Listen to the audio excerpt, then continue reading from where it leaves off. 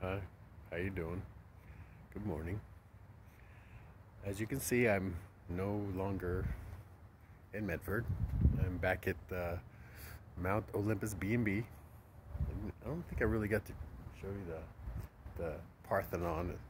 Pretty cool looking, huh? Not bad for a shed.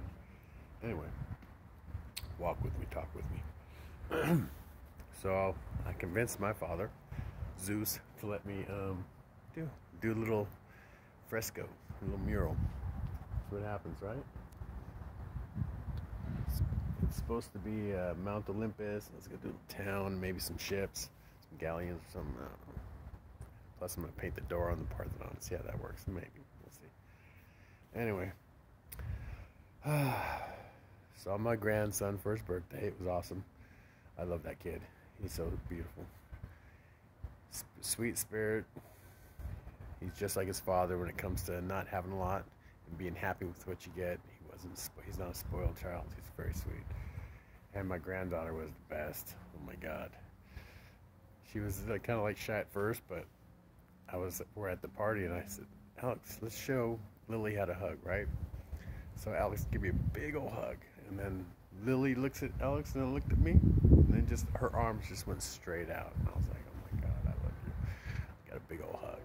And yeah, so I got some loving from my grandbabies, and I'm headed south to the desert.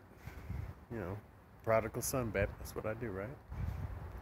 So hang out for a minute with my father and my dad, and chill, and yeah, help him around the the Olympus, doing some weeding and stuff. You know, keep it cool, keep it cool. So anyway, but yeah that's about it. I just thought I'd do an update. Um, car's still running great. Need to get new insurance because Progressive sucks. No offense. The lady on the, like I said, the lady that was talking to me was awesome. It wasn't her fault. Progressive sucks. But anyway, she just works for me. So anyway, I love you. God loves you, and the universe loves you. And I want you to have a wonderful Sunday and every other day. And yeah, mental hugs, babe.